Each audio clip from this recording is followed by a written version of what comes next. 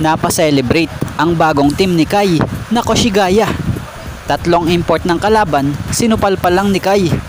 Gandang alley-oop dunk at nakipagmatigasan pa rito si Kai.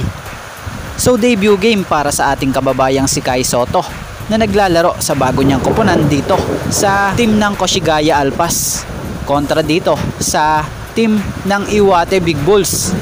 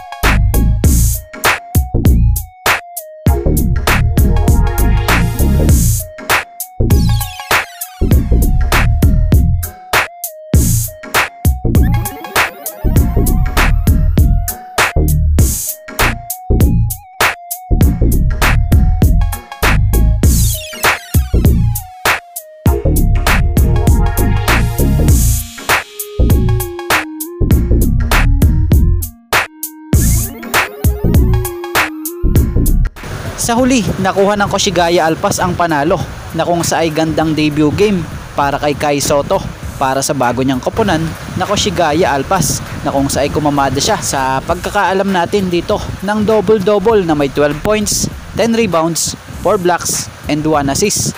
At abangan bukas, may laro ulit sila kay